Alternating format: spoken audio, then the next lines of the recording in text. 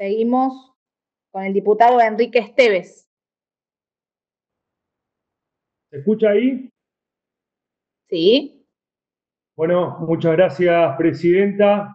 Agradecer también la, presencia del presidente del INAES, Mario, Mario Cafiero, para, para mí en lo personal y como miembro del bloque socialista y del interbloque federal, es un gusto poder compartir esta comisión con usted, no solamente porque, porque coincidimos conceptualmente en la mirada del rol que debe cumplir la economía social en nuestro país, sino porque quiero destacar y decirlo públicamente que no ha habido ningún grupo de cooperativas o federación con la que haya hablado que no hayan tenido un, contacto positivo en el último tiempo con el INAES.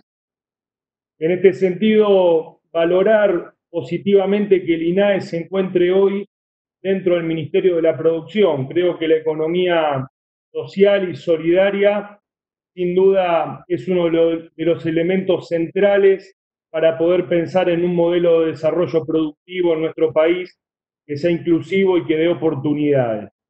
También, como lo mencionaba usted hace un momento, destacar eh, a las cooperativas de consumo y el cumplimiento que están haciendo de las disposiciones referidas a los precios de las canastas básicas. Sin duda, la mirada solidaria que tienen las cooperativas y las mutuales ayudan mucho en un momento como el que estamos atravesando y con las necesidades que sabemos que tiene un porcentaje muy grande del pueblo argentino. Yo quería mencionar dos problemas que fueron destacados por otros diputados o diputadas preopinantes. Uno tiene que ver con, las cooperativas de servicio.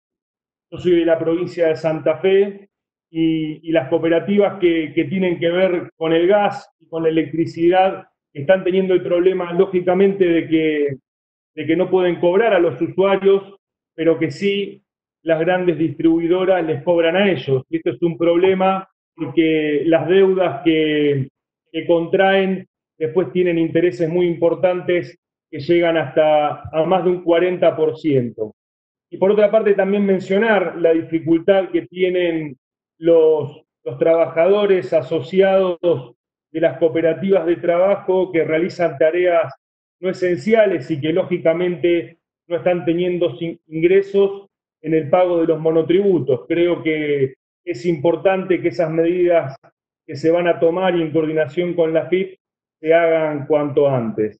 Dicho esto, y sin mucho más para aportar, este, volver a agradecerle su, su presencia y quedar a disposición para trabajar en todos estos temas en esta coyuntura y fundamentalmente cuando salgamos de, este aislamiento poder trabajar en conjunto estos temas que fortalezcan a la economía social y solidaria. Muchas gracias.